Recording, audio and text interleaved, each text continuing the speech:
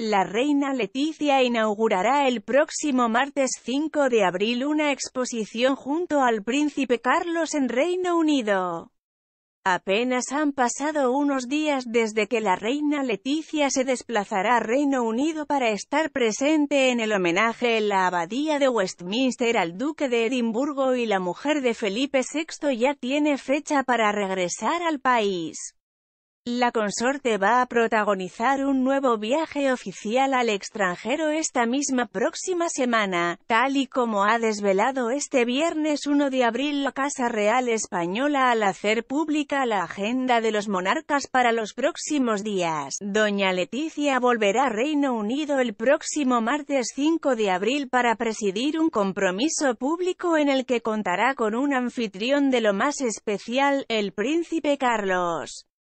La reina y el heredero al trono británico inaugurarán juntos la exposición Zurbarán, las doce tribus de Israel Jacob y sus hijos en el Spanish Gallery del castillo de Auckland, en la localidad de Bishop Auckland, situado en el condado inglés de Durham.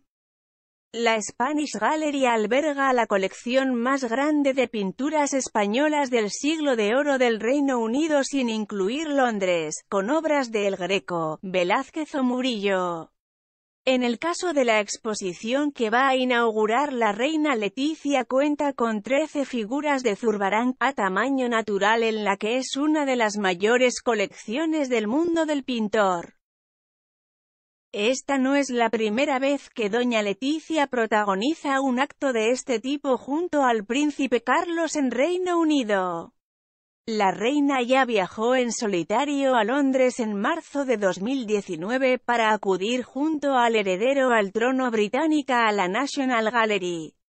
Allí inauguraron una exposición sobre Sorolla titulada Es Sorolla, el maestro español de la luz.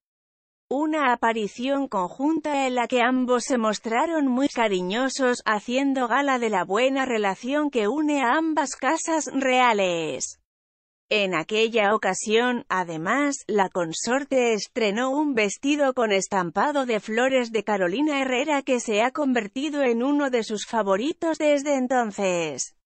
Habrá que esperar unos días para ver con qué estilismo nos